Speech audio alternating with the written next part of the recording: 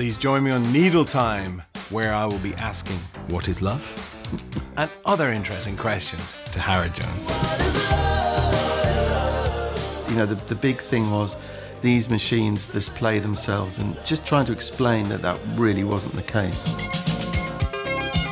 All music is about a person making choices.